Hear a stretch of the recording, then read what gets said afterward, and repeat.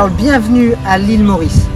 Je suis heureux de vous retrouver pour ce nouveau voyage au cœur de l'océan Indien.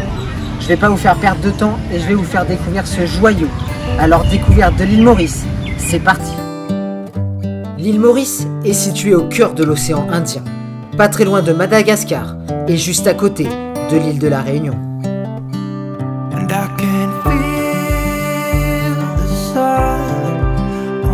Maurice, c'est ce qui se fait de mieux dans l'océan Indien. En tout cas, si vous cherchez un paradis balnéaire, lagons, plages de sable blanc ainsi que paysages magnifiques vous attendent là-bas. La petite île des Mascareignes continue de faire rêver les touristes du monde entier.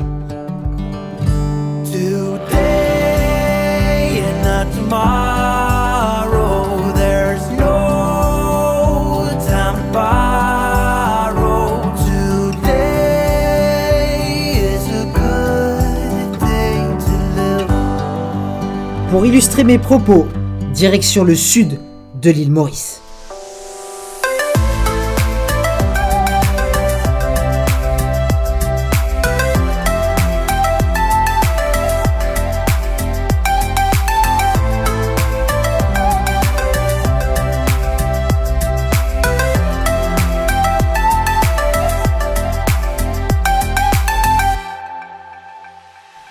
Le Morne est l'une des destinations les plus prisées à l'île Maurice. Il est situé tout au sud de l'île, totalement isolé. Le site est très connu pour sa sublime et imposante montagne, le Morne Brabant, qui est d'ailleurs classé patrimoine mondial par l'UNESCO depuis le 6 juillet 2008. Depuis pas mal d'années, il attire beaucoup de touristes, du tourisme de luxe ou encore des randonneurs. Ses plages et surtout son lagon sont aussi très appréciés bien évidemment.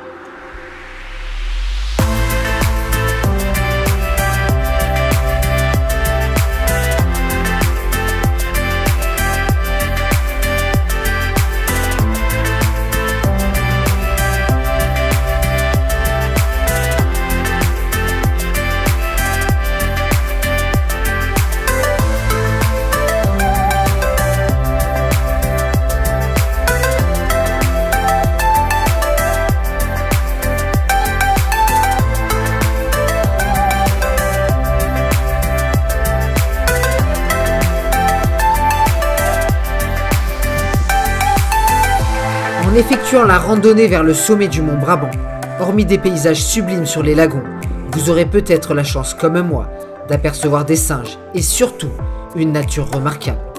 Au sommet, la vue à 360 degrés sur toute la région vous attend. L'île aux bénitiers ou encore la très connue Underwaterfall.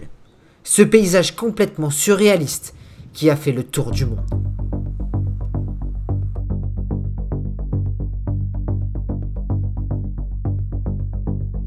L'île abrite l'une des plus incroyables illusions naturelles au monde.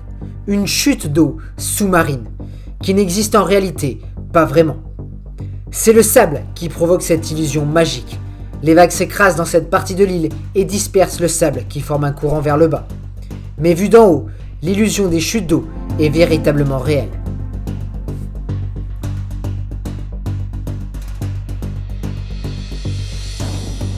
L'île est entourée de sublimes lagons. Mais c'est bien dans cette région que l'on peut apercevoir une palette de couleurs assez impressionnante, notamment du côté de la baie du Cap. Un lagon émeraude s'offre à nous.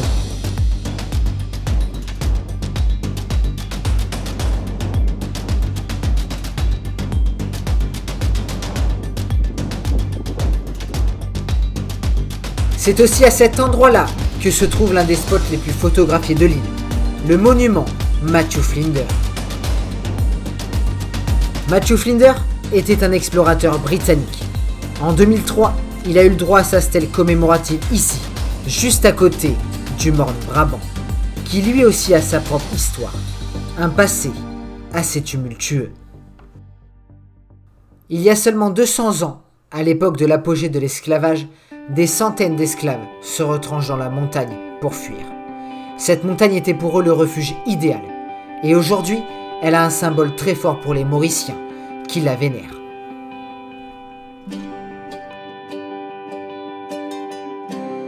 Plus au nord du Morne, au cœur des terres, se trouve un autre lieu assez spécial, la terre des sept couleurs.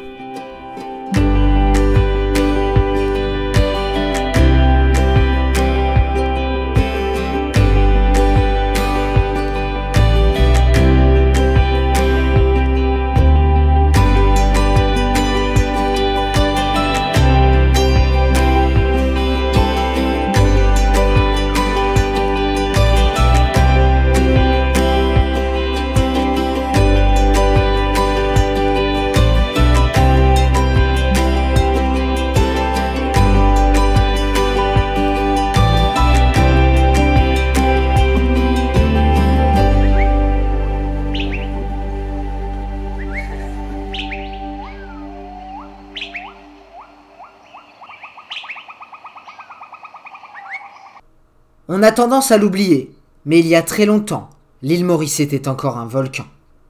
Elle est issue du même point chaud qui se trouve actuellement sous l'île de la Réunion. Aujourd'hui, l'île ne présente plus aucune activité, mais elle a laissé derrière elle une architecture surprenante et surtout des endroits comme la Terre des Sept Couleurs, absolument splendides.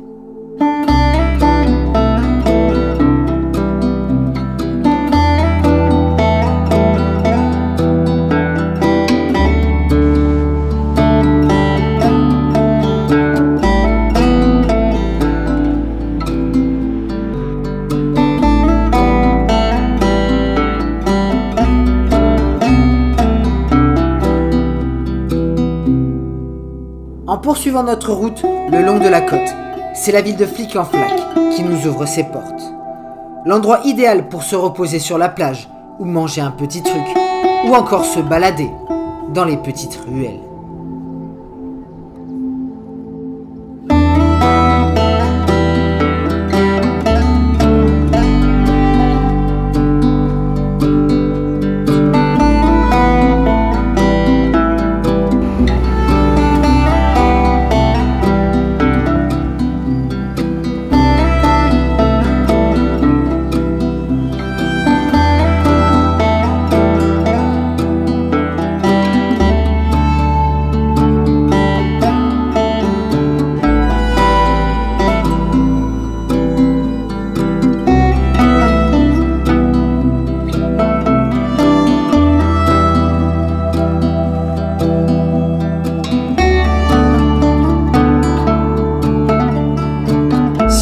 Le Morne et la capitale Port-Louis, Flic-en-Flac attire beaucoup de touristes, notamment au niveau du tourisme de luxe qui se répand très vite sur toute l'île.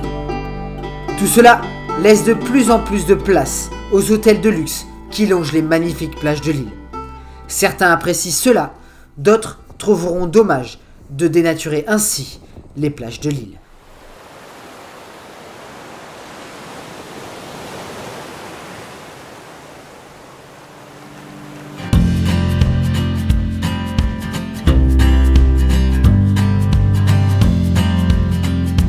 Sur l'île Maurice, c'est ici que tout se passe.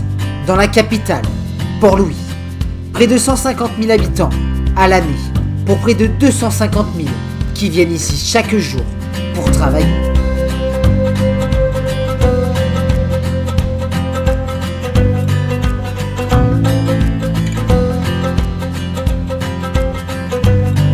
La ville grouille effectivement de monde. Elle attire très honnêtement beaucoup de touristes, car sa richesse culturelle est très réputée. Entre découvertes culinaires et historiques, c'est une destination qui vaut clairement le détour.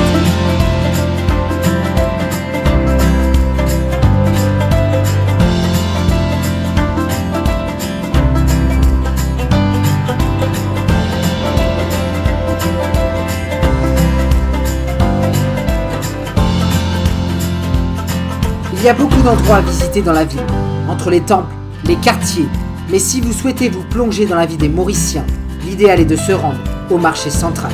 Stands de tout type vous y attendent, entre épices, fruits, nourriture et bien évidemment des objets façonnés par les Mauriciens. Ce marché est vieux depuis plus de 200 ans. C'est sans doute l'endroit le plus populaire de toute la ville. Et il est l'un des rares endroits sur l'île où on peut trouver pratiquement tout ce que l'on veut.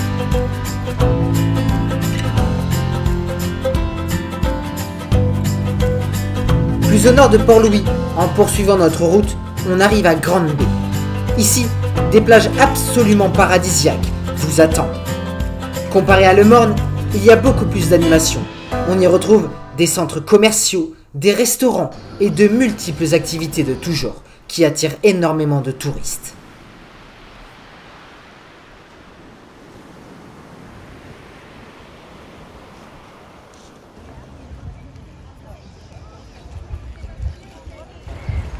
Je vais maintenant vous présenter l'une des plus belles plages du nord de l'île, un véritable lagon. Voici la plage de Montchoisy.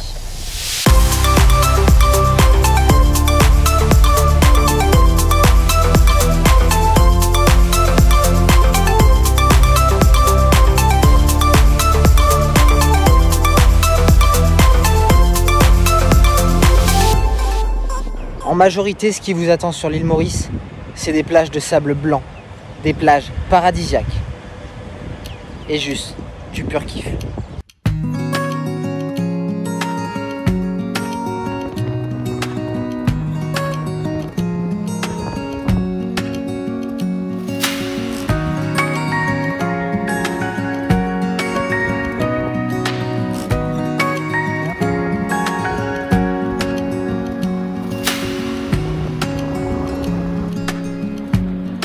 Vous êtes à Grande Baie, n'hésitez pas à poursuivre jusqu'au nord de l'île, au Cap Malheureux. Il doit son nom à tous les naufrages qui ont lieu sur ces côtes. C'est aussi ici que les Anglais en 1810 ont débarqué pour prendre possession définitivement de l'île. Avant cela, l'île était une colonie française jusqu'à ce que les Anglais débarquèrent en grand nombre au nord de Maurice et renversèrent rapidement les Français qui capitulèrent. Pour info, L'île a longtemps appartenu aux Hollandais entre 1598 et 1710, mais aussi aux Portugais vers 1494.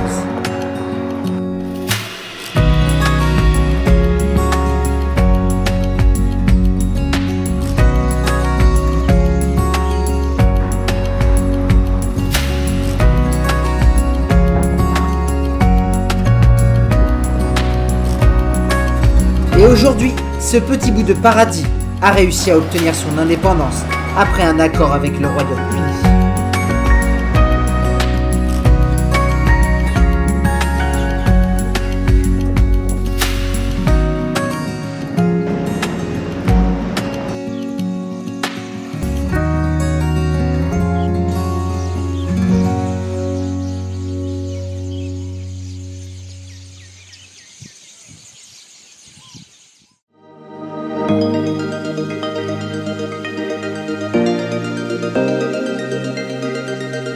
La suite de mon périple se situe sur la côte est de l'île Maurice.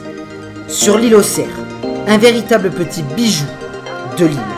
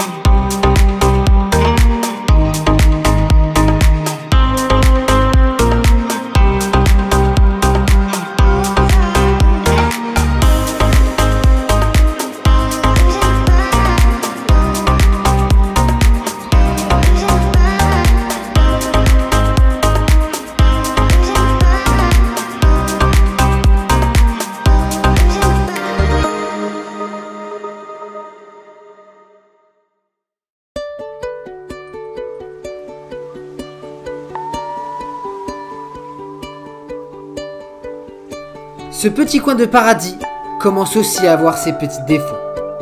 La fréquentation de l'îlot ne cesse d'augmenter, provoquant leur défiguration. La cause, chaque jour plus de 1000 personnes viennent ici en bateau, et le double en haute saison, imaginez-vous. Tout cela inquiète bien évidemment les Mauriciens et les plaisanciers, qui se battent pour protéger chaque jour cet endroit.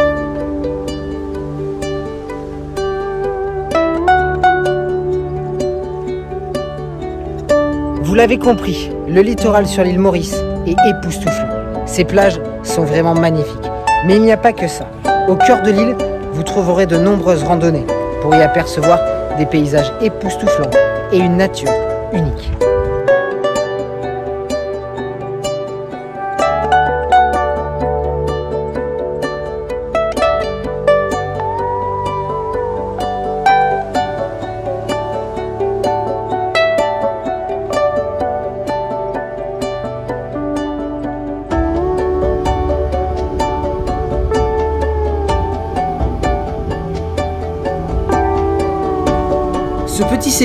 Au cœur de l'île Maurice, au cœur de la culture des habitants de cette petite île, fut bref mais rempli de belles surprises. N'hésitez pas à discuter et essayer de comprendre les Mauriciens, qui parlent d'ailleurs très bien le français. Ils sont véritablement gentils et très accueillants. La vie ici semble être très agréable, même si ces dernières années, l'île se dirige vers une politique de tourisme de luxe, et du coup, on voit vraiment la différence entre la vie des Mauriciens et le luxe qui les entoure. Mais beaucoup de Mauriciens tentent de se battre pour protéger leur magnifique île. Et il y a de quoi, car cette île est un véritable paradis.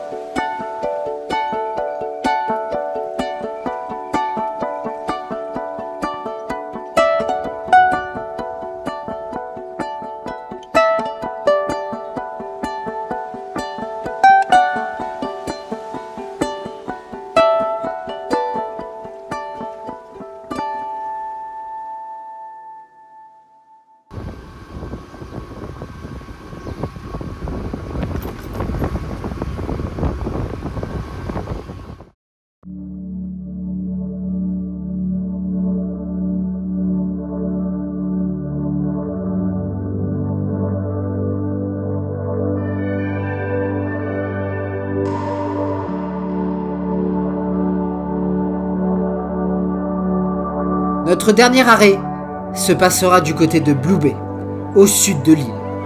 Sans doute l'une des plus belles plages au monde.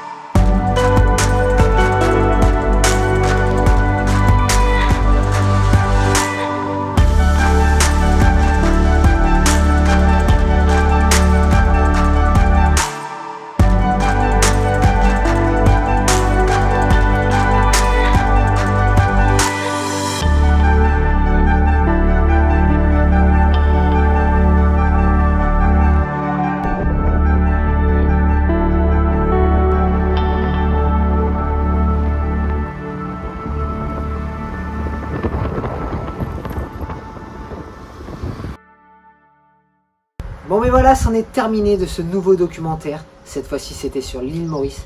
J'espère que ça vous a plu, que ça vous donnera envie de venir ici et d'apercevoir ces spectaculaires panoramas et ces plages juste incroyables. J'ai plus qu'à vous dire comme souvent la suite au prochain épisode. Allez, ciao